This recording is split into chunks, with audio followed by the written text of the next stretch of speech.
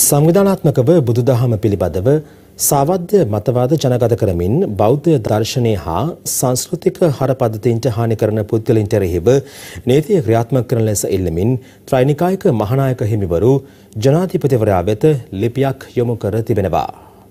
අදාළ ලිපිය මගින් මහනා හිමිවරුන් පෙන්වා දෙන්නේ බුදු දහම විනාශ කිරීමට උත්සාහ දරන පුද්ගලයින්ගේ හැසිරීම් තවදුරටත් හුදු සිද්ධීන් ලෙස ලඝු කොට සැලකිය නොහැකි බවයි. ත්‍රෛනිකායක මහනා හිමිවරුන් මෙම ලිපිය මගින් දක්වා ඇත්තේ විවිධ පටු ලාභාපේක්ෂාවන්ගෙන් ගිහි පැවිදි පිරිස් සංවිධානාත්මකව ධර්මහානියක් මෙන්ම ශාසනික හානියක් සිදු කිරීමේ අන්තවාදී ක්‍රියාදාමයක නිරත වන බවයි.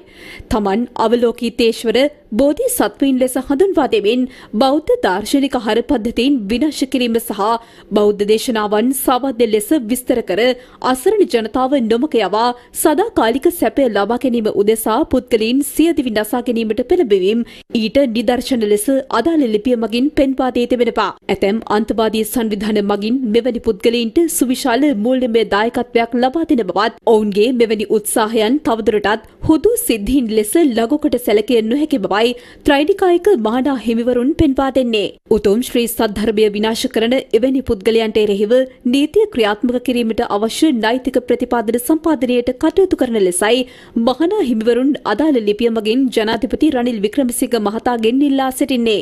මේ අතර අවලෝකීතේශ්වර බෝධිසත්ව නමින් පෙනී සිටින මහින්ද කොඩිතුවක්කු නැමැත්තාගේ ක්‍රියාකලාපය සම්බන්ධයෙන් මහා සංඝරත්නය මෙලෙස අදහස් පළ කළා. මහින්ද කොඩිතුවක්කුත් මේකේ මේ පිටකවරේ වගේ. තිරේ පිටිපස්සේ ඉන්න හොර ජාලාව. ඒ අය පොත ඇතුළේ ඉන්නවා. පොත ඇතුළේ ඉන්න උන්ට එළියට ගන්න ඕන. රටේ නීතිය ක්‍රියාත්මක කරන්න ඕනි.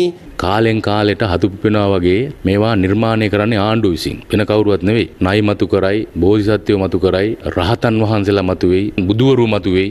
මේ මැති ඇමතුවරු ඒ ඒ අයගේ අනුගාමිකයෝ. ඉතින් ඒ හින්දා එයාලට නීති ක්‍රියාත්මක කරන්නේ නැහැ. මේ ඔක්කොම විගඩම් නාටක, නරි නාටක ඔක්කොම ආණ්ඩුව විසින් නිර්මාණය කරන්නේ රටේ ප්‍රශ්න අමතක